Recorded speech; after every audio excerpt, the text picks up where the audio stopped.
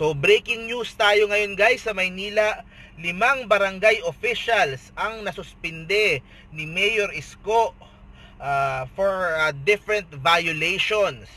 So ang nangyari po ngayong Monday, September 28 ay pina-implement ni Yorme Isko ang suspension order issued by the Office of the Ombudsman against five airing barangay officials.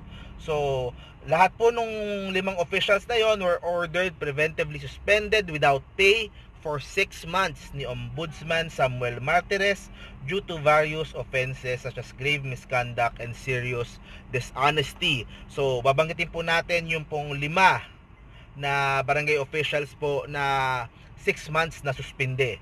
Sa barangay 11, Chairman Leonard Recto uh, was suspended pending investigation of a complaint uh, from uh, the Office of Interior Undersecretary Martin Dino. So siya po ay uh, nasuspinde. So sa Tondo po yan, Barangay 11. Uh, susunod po, Barangay 123. Chairman Mario Banal was suspended for grave misconduct, conduct prejudicial to the best interest of the service and abuse of authority and gross dishonesty. Sumunod, Barangay 283, Chairman Nino Antoni Magno was suspended due to a complaint from the office of Undersecretary Dino for grave misconduct and conduct prejudicial to the best interest of the service, abuse of authority, serious dishonesty, and abuse of Republic Act number 6713. Uh, Barangay 418, si Chairman Jonas Bartolome was suspended pending investigation for complaints of alleged grave misconduct, serious dishonesty, Eh, prejudicial to the best interest of the service and abuse of authority. And lastly, Barangay 449, Chairman Romeo Garcia, suspended for grave misconduct, dishonesty, and conduct unbecoming of a public official. So, kasama din po sa report yung pong mga papalit po sa kanila na officials po ng barangay. Of course, sila po yung mga chairman. So, yung pong uh, uh, kanilang village councilor ang papalit muna bilang acting barangay chief habang sila po ay nakasuspinde. So 6 months po yung suspension po nila habang imbestigahan po yung pong kanilang kaso.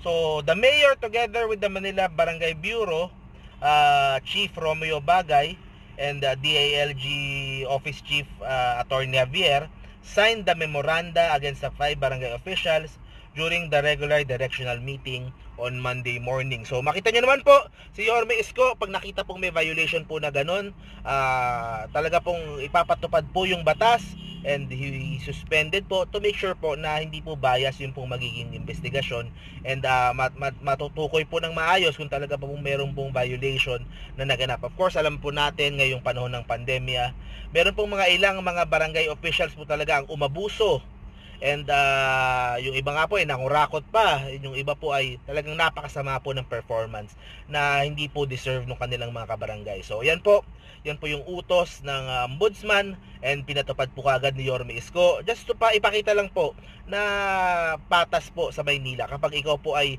uh, gumawa po ng uh, kasalanan, ikaw po ay mapaparusahan. At yun na nga po, uh, sila po ay nasuspinde So, meron naman po silang chance na patunayan po kung talagang sila ba ay inosente o wala pong ginawang kasalanan. Pero yun, syempre, lahat po yan galing po sa mga complaint na imbestigahan po yan at ngayon po, uh, papatupad na po yung pong suspension. So, abangan po natin yung pong magiging statement ni Yorme Isko regarding dito. So, I'm just uh, letting you know lang yung pong limang barangay officials, na nasuspinde. Kung taga dyan po kayo sa barangay na yan, comment down below kung ano sa tingin nyo. And uh, tuloy-tuloy lang po yung pong uh, pag, uh, paglilinis ni Yorme Isko sa hanay po nung pong mga officials po And uh, yung pong mga minsan yung mga maliliit na papalagpas ni Yorme pero ngayon pong panahon ng pandemic, hindi po talaga okay yung pong mga ginagawa po na pagkaabuso na yan. So tama lang po na talagang maging stricto at uh, panagutin yung pong mga barangay officials po na matitigas po ang ulo at pasaway at hindi po marunong sumunod sa mga in-instruct po ng uh, national and local government. So yun guys, thank you very much po. Tuloy-tuloy lang po yung coverage po natin sa Manila. See you po sa next video po. Pilipinas, God first. Bye-bye guys.